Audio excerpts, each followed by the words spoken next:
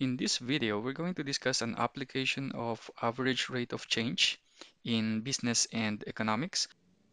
Suppose we have a company whose revenue in thousands of dollars is represented by this graph, T years since 2000. Let's find the average rate of change in revenue from 2000 to 2004, 2004 to 2007, 2007 to 2009, and 2012 to 2016. Okay, let's find the revenue from 2000 to 2004. So finding average rate of change is the same thing as finding slope of a secant line. It's a line that passes through at least uh, two points. So in this case, since we're considering 2000 to 2004, so we have these uh, points here. So that is uh, year 2000 and year 2004. So we have this uh, revenue. So we're considering these uh, two endpoints here. And the average rate of change is only the slope of the line that passes through these two points.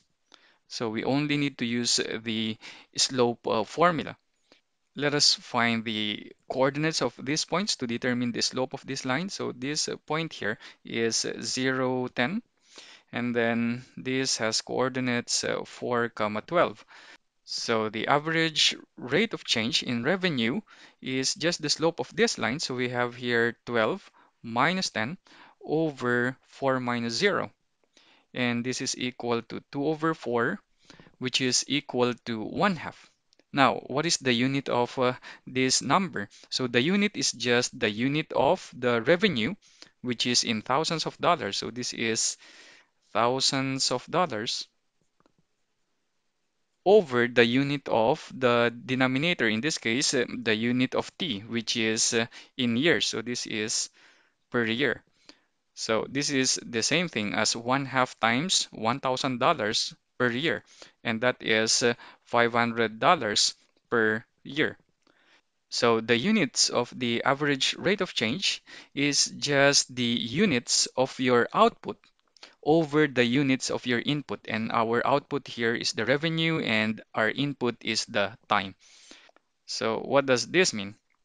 It means that on the average, from 2000 to 2004, the revenue is increasing at this rate, increasing by $500 per year. So the fastest way to find this uh, average rate of change here is actually using rise over run. So if you move from this point to this point, so you have to move upward by two units and then run to the right by four units. So you rise by two units and you run to the right by four units. So that's the fastest way to find that average rate of change, which is equal to one half. Next problem. So let's find the average uh, rate of change from 2004 to 2007. So 2004, again, the coordinates of this point are you have here 4 comma 12 and then uh, 2007 so we have here 7 so this point here the coordinates are 7 comma 17 so the average rate of change here, again, it's the slope of the line that passes through those two points. So you have here 17 minus 12 all over 7 minus 4. And uh, this is equal to 5 over 3. Again, 5, the unit of this numerator is in thousands of dollars.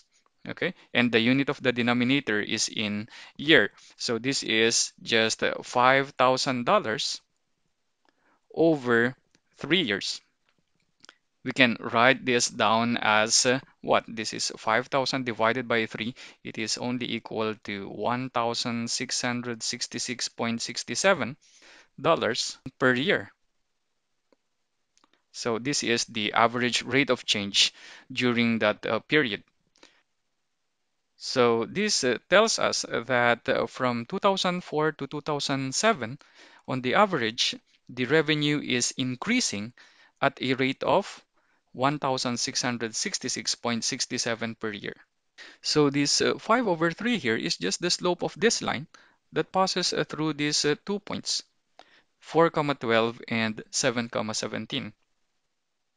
We can also find this uh, average rate of change here using rise over run.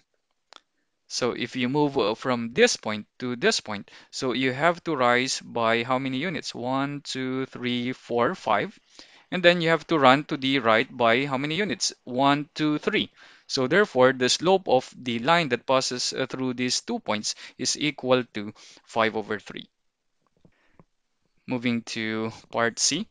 So let's find that uh, average rate of change from 2007 to 2009. So 2007, so here, this point here, so we have here 7 comma 17, and then 2009, so we have this point here with coordinates uh, 9 comma 17. So what is the average rate of change in revenue during this uh, period? So as you can see, we have here a horizontal line, so the revenue is not changing. So the average rate of change here is just zero dollars per year. Of course, you can also find this uh, average rate of change by using slope formula. But when we use slope formula, again, change in y, there's no change in y. So 17 minus 17 all over 9 minus 7. And this will give you 0 over 2 and that is equal to 0. If you multiply the 0 by $1,000 so 0 thousands of dollars so that is still equal to 0. So you can just write your answer as $0 per year. It is clear that the average rate of change is 0 because the line that passes through these uh, two points here is a horizontal line and the slope of a horizontal line is equal to 0. Okay, let us now find the average rate of change from 2012 to 2016. So 2012, so we have this point here. So this is uh, 12 comma 20 and then 2016 so we have this point so this is uh, 16 comma 17 so those are the coordinates of our point so therefore the average rate of change is equal to 17 minus 20 Take note of the order here. Order is important when you're uh, looking for slope of a line. So we have here 16 minus 12.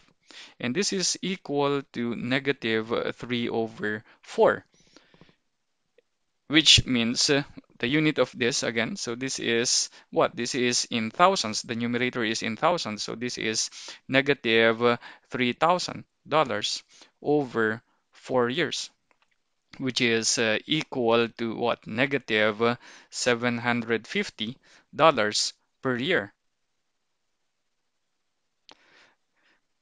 what does the negative sign mean here so it means that on the average during this uh, period from 2012 to 2016 on the average the revenue is decreasing at a rate of $750 per year so the negative sign me here means that the revenue is decreasing on the average. We can also use rise over run to easily find this average rate of change. So since you're going to rise, so you have to move from this point to this point. So you have to rise by how many units? One, two, three.